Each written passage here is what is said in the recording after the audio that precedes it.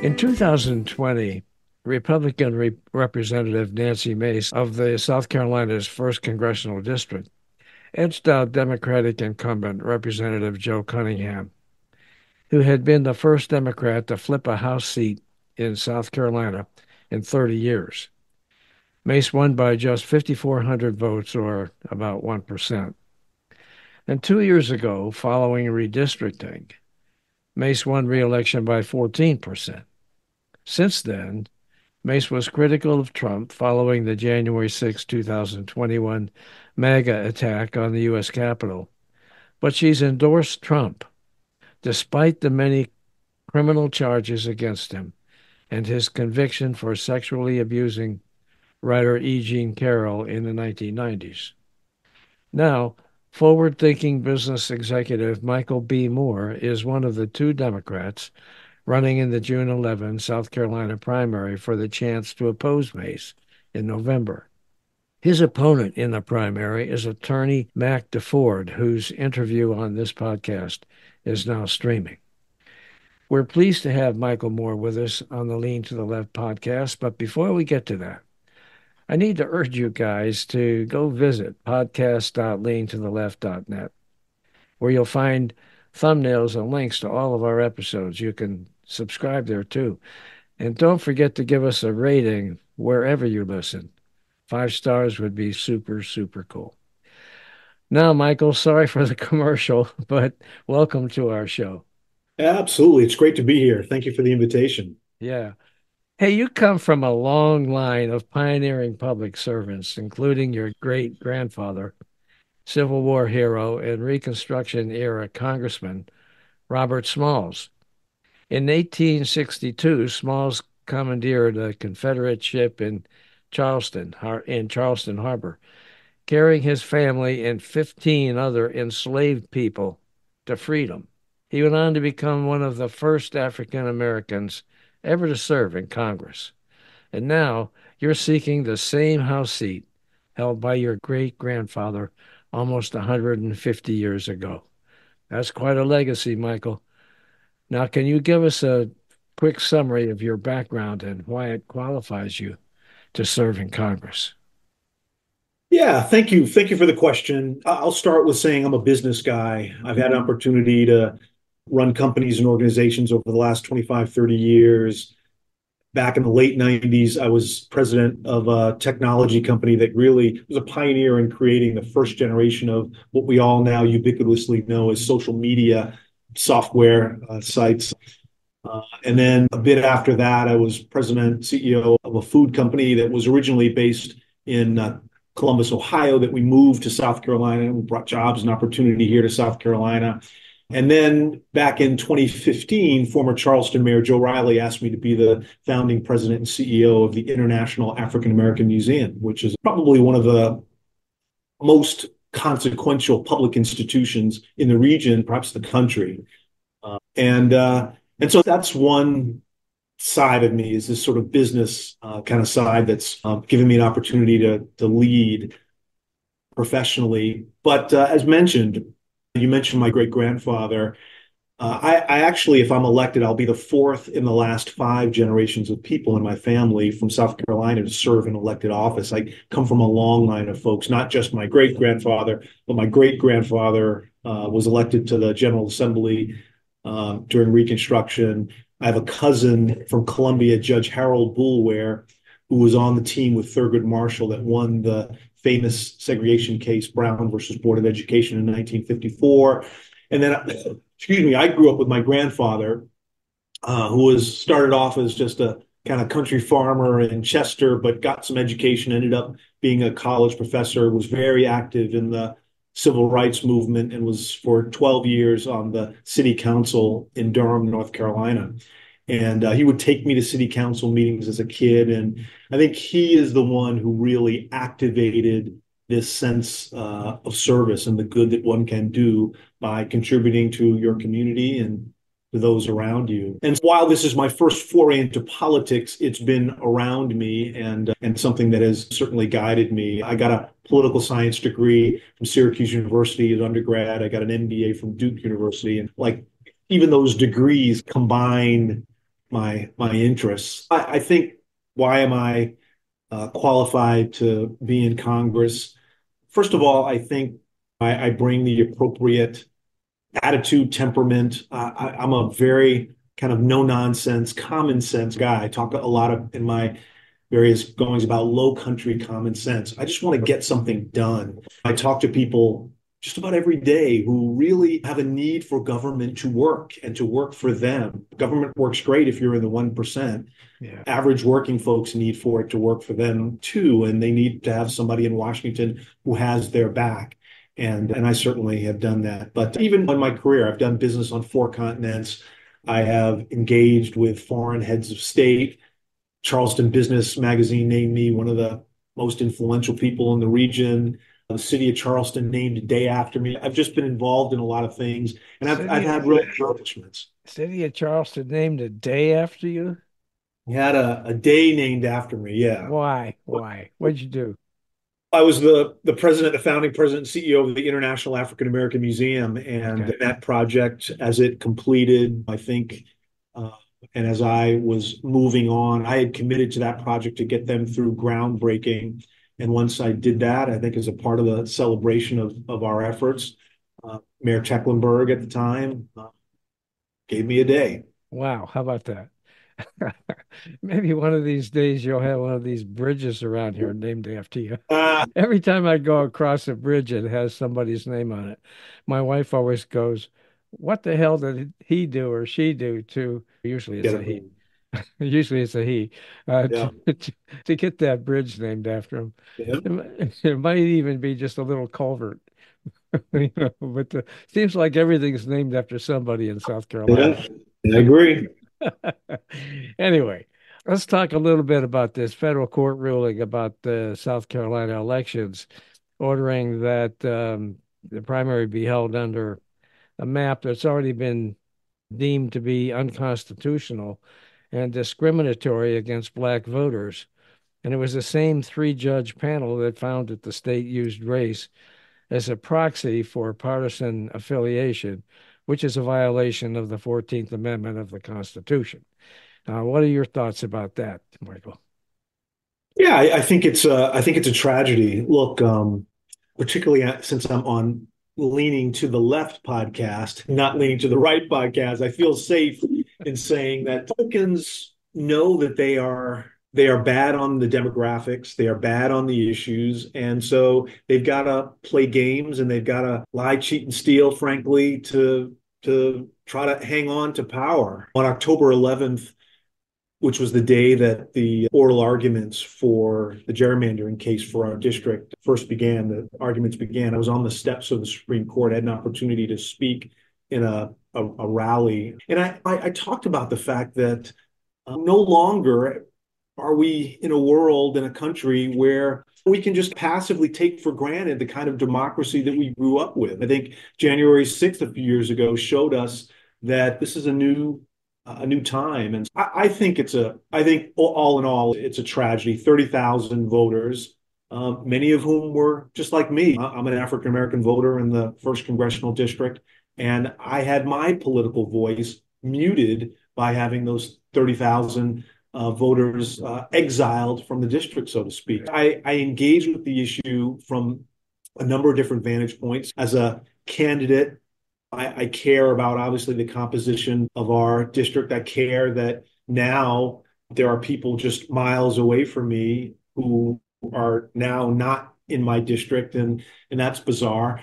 But I also, from historical standpoint, Robert Smalls, uh, 140 some years ago, was gerrymandered out of the district, and it just South Carolina has come a long way, but on this particular issue, we're still seeing gerrymandering and seeing the use of tools to deny people political voice. And uh, I think it's I think it's embarrassing. I think South Carolina is better than that, or should be better than that. And and I'm out talking to folks and and looking to represent everyone in the district. And I hope justice ultimately will prevail. I will just say, lastly, the lower courts, basically their hand in making the decision to use the lines that we have now their hands were forced because the Supreme Court is basically dragging their heels on this. They know what they've decided. They know what they're going to do, but they it feels like they're just putting their hand on the scale a little bit, influencing this particular race. And again, I think that's disappointing.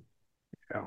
Okay. What are your thoughts? Of, you mentioned January 6th in, a couple of minutes ago. What are your thoughts about Congresswoman Mace supporting Trump and criticizing him for the January 6th insurrection? I think a lot of people in the district want to know who is the real Nancy Mace? Is it the one who critiqued Trump or is it the one who went out and sought his endorsement and won his endorsement? Is it the one who said that she was pro woman and supported in some to some degree women's reproductive freedom or is it the one who was the co-sponsor of a six-week abortion ban and sponsored a bill against IVF is it the one who voted against the infrastructure bill or is it the one who shows up when the bacon, so to speak, comes to the district, back to the district, and wants to try to take credit of it. So I think that's part of the problem with Nancy Mace is that I, I it doesn't feel like there's uh, much integrity to her position. She says what she feels like she needs to say at the moment to uh, appease whatever political uh, group she's in front of. So I, I think it's a problem. Yeah. Okay. So, what would be your your uh, top priorities, Michael, if you're elected? Coming from a business background, I think the economy um, is something that I spend a lot of time thinking about. I, I believe that there are a lot of needs. People have a lot of needs, but I think at the core, if a family, someone family has a good job with good benefits to take care of their family, and then ultimately that allows them to retire with dignity, I think that's the start. So I spend a lot of time focusing on how do we create a more inclusive economy? How do we help people better take advantage of their skills, their hard work to take care of their families? I think healthcare is an enormous problem. I think first, most acute is the issue with women's reproductive freedom and codifying Roe v. Wade and ensuring that women have the rights to make decisions about their own bodies. But even broader than that, medical debt is the number one cause of bankruptcy in America. There are 110 million Americans who are mired down by healthcare debt, and we just have to create uh, a more balanced system.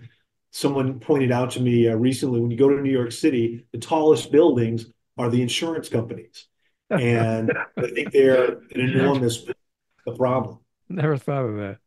Yeah, lots of issues. I think the environment, they don't call us down here, the low country, for no reason. I think we've got to really get serious and we've got to here in the district, we've got to take some ownership of trying to contribute to the solution to our environment. It's a much broader problem, obviously, than the low country, but I think we can be leaders in that. And then I would just say last two issues, because I know we got limited time, but education is an enormous challenge in this country. South Carolina ranks toward the bottom of the states in public education. My great grandfather wrote the legislation to create the public school system in South Carolina, which was the first uh, public school system in the way that we know them now in the entire country. And I know he would be rolling in his grave. There's solid research that shows that lifetime earnings, the accumulation of all someone earns, is directly connected to uh, education. And we just have to you know, stop fooling around banning books and we've got to let teachers teach. We've got to compensate teachers in appropriate ways. I come from a family. My wife is a teacher. She teaches special needs children. Both my parents were teachers. Three of my four grandparents were teachers. I understand from a, a number of different vantage points the power that the advantage that can come from having a great education. So we've got to get serious. And then I would just say, as a father, I've got four sons. I've got a, a beautiful nine month old granddaughter it always breaks my heart when I say that the number one cause of death among our children in this country is gun violence. And look, we are making a value judgment as a nation. We are saying that it's more important that we adhere not just to the Second Amendment, but to the NRA's rather perverted interpretation of the Second Amendment than it is to care for our communities and to care for our, our children. And so I would say there are a whole host of really common sense reforms, by the way, that the vast majority of Americans already agree to, that we just need to get behind. We need to have people in Washington who will will, will support those things. So a lot of issues, but but those are those are a few. We need to have people in Washington who have the courage to address some of these issues, like guns, for example. Because Absolutely. it seems to me that uh, despite all these horrible shootings that take place in schools, in shopping centers, at churches, it's because people have unfettered access to firearms. And instead of doing anything to turn that around, the states are making it easier for people to have weapons and weapons of mass destruction. It's really interesting. I, I flew to another state, had to rent a car. And as I was renting the car, I saw this big sign that says, you've got to be 25, you've got to have a good driving record, and you've got to have good credit to be able to rent a car from that particular place. You can, as that's just to rent a car. You Yeah. can, 18 year old, you can get a assault rifle with a high capacity magazine with no training, with no nothing. And uh, and it just doesn't make any sense. It's illogical, and, and I think we need to do we can do better. We need to do better. Okay. So, uh, your District One is dependent on tourism. It's sensitive to climate issues and in need of affordable housing.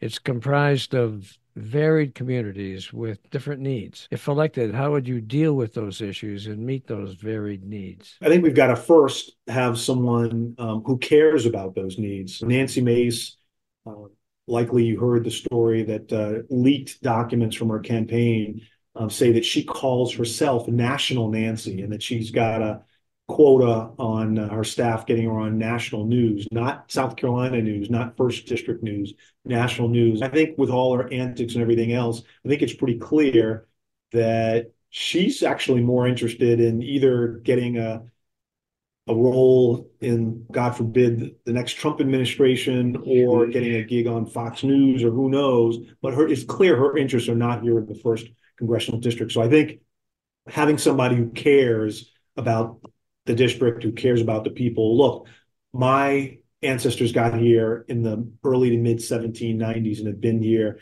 ever since. My mentioned Robert Smalls, he got in office in 1868, and I've had multiple generations of people serve. It is the highest and greatest aspiration in my life to serve the people here in the first congressional district and to become a representative who's got their back. So that's the the, the high level. And then I think we've got to dive into the issues. I've already contributed to tourism as the founding president and CEO of the International African American Museum. I was able to step across uh, party lines and raise money and get this institution up and going. And it's a powerful, again, one of the most, I think, consequential public institutions in the state.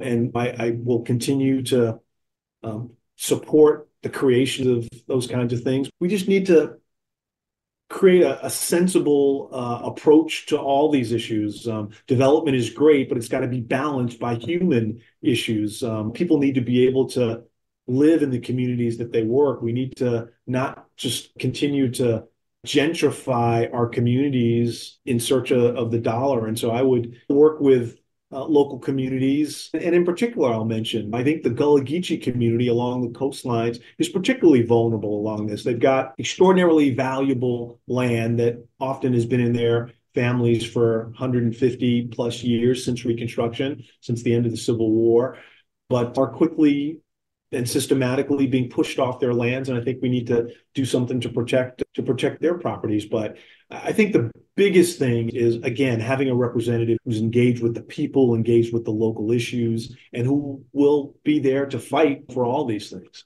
I know, I'm sure that in your district, District One in South Carolina, that you've got plenty of Social Security and Medicare recipients. Is that a, a good assumption? Uh, absolutely. Yeah, all right. So what do you think about what the Republicans and Trump keep talking about, cutting benefits and raising the retirement age and all of that? I think, as our current president would say, I think that's malarkey. I know. I look, first of all, I disagree with how Republicans talk about entitlements. Somehow, if a government program for people, it's given this epithet that it's an entitlement, but we can give corporations all kind of subsidies and the like, and that's perfectly fine. Yeah. E- even that aside, Social Security is not an entitlement in any kind. It's an earned benefit.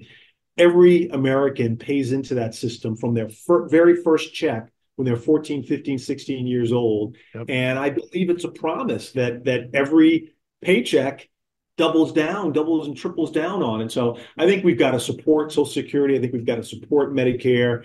Um, and I and I've got a number of ideas about how we can do that, but absolutely under no circumstances should we consider Uh, cutting Social Security. I don't even believe in increasing the the age that you can start drawing. I think mm-hmm. there's all kinds of things. Congress has been stealing from the Social Security Trust Fund for generations. That's why, if there's a problem, that's where it comes from. And I think we just need to solve that challenge in a creative way that allows folks to maintain their benefits and and that will make it healthy. But privatizing it or cutting it, cutting benefits, I totally disagree with. Okay. Now, you mentioned a little while ago abortion and reproductive rights, but I'd like you to expand on that if you could. Yeah, I think we'd have a different perspective on this if all of a sudden the government were trying to mandate vasectomies for men or something like that. I think we'd think about this a little bit differently about the government. I, I think you're probably right there. um, so no, I, I just think it, I think the government has absolutely no role in getting between a woman and her physician on around her health matters. I, I am just appalled. I saw the statistic that in those states that outlawed uh, abortion, there were 60,000 collectively, 60,000 pregnancies that arose from rape or incest or things like that. So 60,000 women, girls and women, are being forced to take pregnancies to term because their states have outlawed it. I just think it's horrendous. Um, and further, you know, there's been talk that next up is contraception, and they've already talked about IVF. I, I just, I just think we need to jump back into the 21st century here, and and women need to have the right to make decisions about their body. But I will also tell you this: I go, my support for women goes further than just women's reproductive freedom. I support the Equal Rights Amendment. I support pay equity. I support the Violence Against Women Act. Uh, there are all kinds of research that says that societies that are healthy and that are doing well, that are thriving, in part are thriving because the women in those societies are well supported and are uh, protected. And I, just today, as a matter of fact, my uh, campaign announced a group of women came together and launched a Women for More group and I just feel so grateful for their support and an active group of women who are going all around the district and um, talking about the campaign and gathering other women uh, to join us. And so I feel grateful. Women are going to be a very important part of the election, and uh, and I feel grateful to have uh, that group behind me. Okay. Let's turn a little bit to the other hot button issue that the Republicans keep blasting Trump and, and the Democrats over, and that's immigration.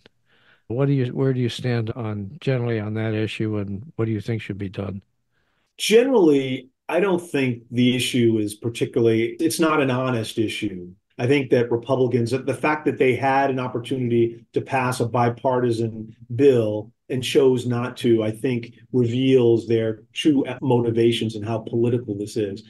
Look, I think the other thing I would say is that if we just start thinking about the problem when someone is at our southern border, we've already lost the ball game. It's a hemispheric problem. We've got to think about hemispheric solutions. We've got to work with our partners, our neighbors to the south, and we've got to try to create situations where there is economic opportunity, where there's political stability.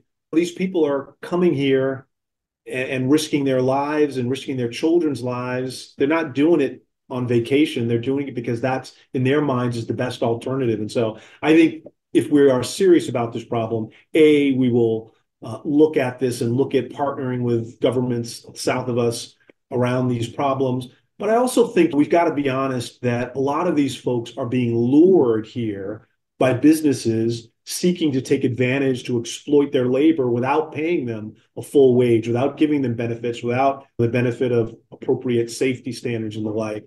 And so we we just got to get honest about this challenge all the way around. The other thing I would say is Donald Trump in particular, but lots of his Republican minions always try to talk about the fact or, characterize uh, folks coming from the south of us as criminals, rapists, and the like. The, the facts on this are clear uh, immigrants who come to this country are less likely, significantly less likely to commit crimes than people here. And it's just logical about that. If someone's here, particularly if they are here in an undocumented way, they're not going to do anything to call attention to themselves and to potentially get themselves booted. The other thing is, I think the fentanyl issue is a really serious issue. I think it deserves an extraordinary amount of attention, but it gets trivialized when the lie is perpetrated that immigrants are bringing fentanyl over the border. It's not immigrants, it's the Americans who are going down and getting fentanyl and bringing it over. And it's a dubious that the source of that fentanyl is coming from China as well. So I think all around we just need to get honest about the, the challenge and we need to act in, in sober and, and realistic kinds of ways. Yeah. How do you feel about the fact that there was a bipartisan bill, which the Democrats were not crazy about, but they supported, and it made it partway through Congress. But then Donald Trump, oh, no, buddy, don't pass that. No, that's a win for Biden. Don't do it. And so the Republicans bailed and the bill failed. And now we're stuck. I think I, I think it it clearly betrays their real motivations that they are really political yeah, on this issue, using it yeah. as a political football to try to attack Biden. Uh, and they're not really serious. And I, frankly, I think Nancy Mace, we will hold her accountable on this particular issue. Now, it, it, it occurred to me that you're running for Congress, a very red state. And so it's an uphill battle. There's just no yes. no way to cut say it any other way. It is an uphill battle. And what they've done with redistricting in in your district doesn't help. But I'm just wondering why it is that you're willing to take on this challenge against these odds and why you think it would be any different for you compared to those members of Congress who are now leaving because they're just frustrated with the fact that nothing can get accomplished?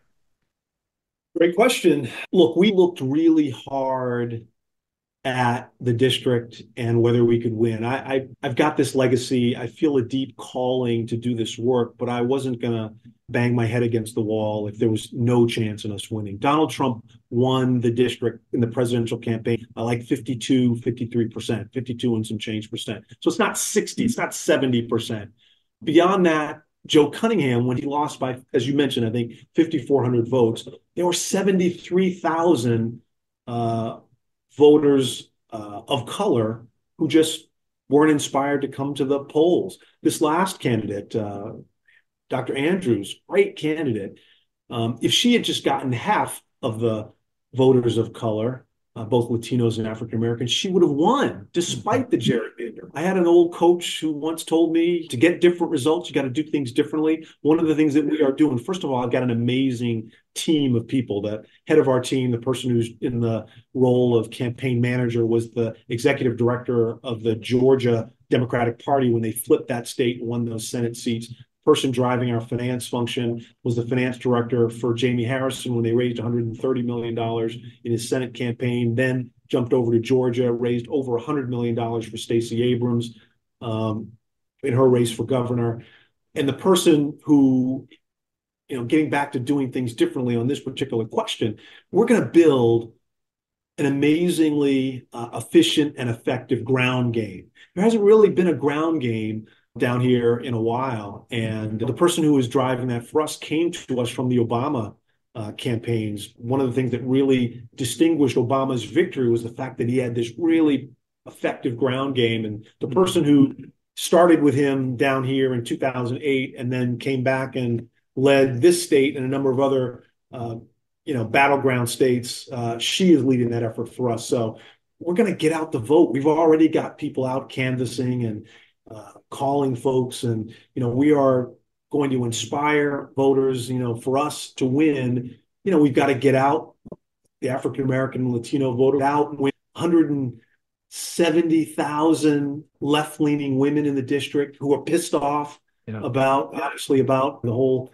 reproductive freedom issue and we're marshaling their efforts. Young people we've already got a, a group of we've got a campaign fellows program like an internship and we've already got 20 young people and we're just getting started. We're going to have an army of young people out connecting with other young people talking to them about our campaign about the issues And look, we also think that Nikki Haley beating Donald Trump in the Republican presidential primary proved that there's probably an even larger universe of moderate Republicans who at least are not going to vote for anything MAGA. And that obviously includes Nancy Mason. Look, we think with my business background, with with all that I've accomplished and in the community, being on the board of the commerce and all the, those things, we think we're going to have a good shot at speaking to them in languages that make sense and attracting some of those folks. So we're feeling good. We've already raised money. Um, you know, we've raised money all around the country, 46 states. We've raised money because I think people are starting to sense that we're a campaign that can help pick up this seat and uh, and help put a Democrat in the speaker's chair, and we're going for it. Okay, great. All right. So, have you got anything else you'd like to add? No, just we are we're working hard for folks who might be interested. Our website is just my name, michaelbmoore.com. Okay. Uh, we'd love to get people to to donate, to volunteer. There's lots of opportunities for folks to get involved, and I'm okay. grateful for the opportunity to to visit with your your viewers, and love to come back sometime. All right, thank you very much, and we we, we wish you well. And you know what? If you make it through, we'll have you on, and at that at that time, it'll be bigger stakes. Sounds great. Look forward to it. Uh, all right. Thanks so much, uh, Michael. I really appreciate it. Enjoyed talking. Hey, guys, thanks for watching. I hope you enjoyed this Lean to the Left video and you found it interesting and informative. Please visit on a regular basis and check out our interviews with guests on topics that focus on progressive politics and the important social issues of our time. Now, our interview shows stream on Mondays with special episodes on Thursdays. And you can check out upcoming shows, guests, and topics at podcast.leantotheleft.net. Subscribe to our audio version there and to our video shows here at YouTube. And follow us on social media. Facebook at Bob Gatty and the Lean to the Left podcast. Now it's two. Bob Gatty is one Facebook page, and the Lean to the Left podcast is a second Facebook page.